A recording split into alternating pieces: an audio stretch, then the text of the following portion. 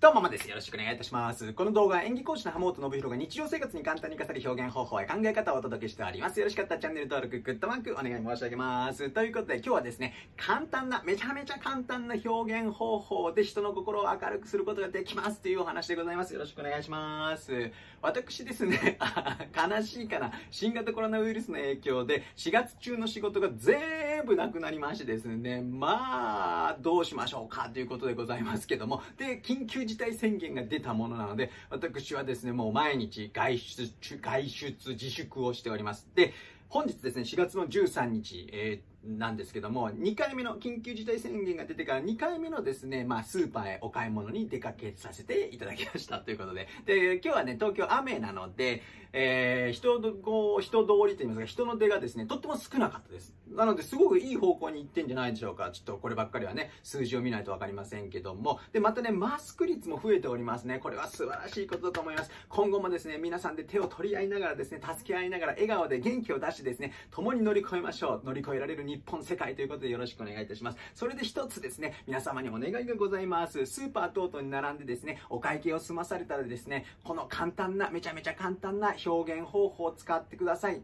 ありがとうでございます。ありがとう。ただこれだけでございます。ありがとうは連鎖します。よかったらですね、レジの方にですね、レジの方って、この状況下の中、働きたくて働いてる方いないです。この、もしかしたら感染するかもしれない。本当にちょっと恐怖の中で働いていただいております。物流であるとか、医療であったりですね。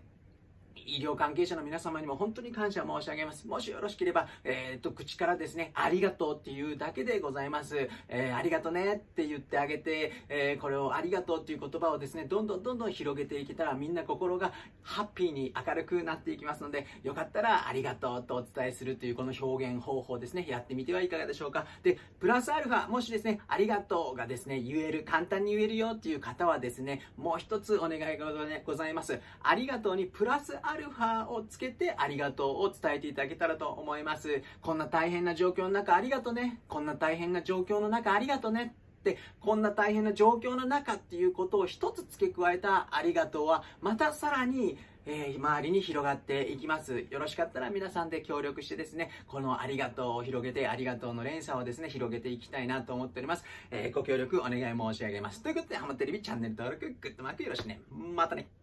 ハマテレビチ